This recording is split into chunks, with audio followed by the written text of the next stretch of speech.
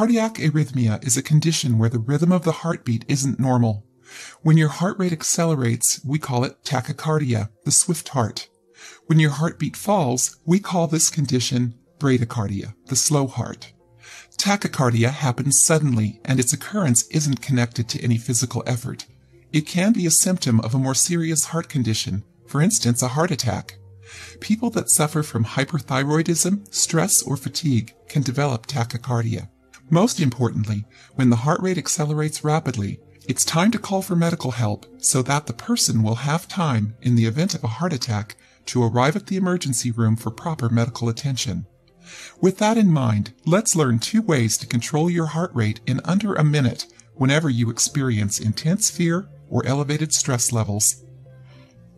Keep in mind that if your heart rate happens to accelerate due to the beginning of a stroke, then calling 911 is the recommended course of action. That includes making sure that you won't harm yourself while trying to control your tachycardia. Therefore, these methods are best suited for people suffering tachycardia due to problems with panic or anxiety attacks. Use cold water. Fill a sink or bowl with ice and cold water. When you feel a sudden increase in your heart rate and or your pulse, take a deep breath, hold it, and submerge your face in the cold water. Keep your face under water for as long as possible.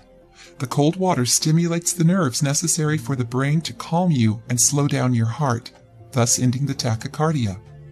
This trick is known as the diver's reflex and should be used sparingly. Repeat the process until you feel calmer. Control your breathing. By controlling your breathing, you can reduce your heart rate and eliminate tachycardia. First, take the deepest breath possible. Next, quickly release all the air in your lungs. The most important part of this exercise is to breathe at your lungs limit to force your heart rate to return to normal. Remember that breathing this way is more intense than simply taking deep breaths, so doing this exercise for a long time can be harmful. So do this exercise for no more than one minute in order to alleviate the tachycardia and return your heart to its normal rhythm. If you liked the video, give it a thumbs up and share it with your friends. For more recipes and tips, subscribe to the channel.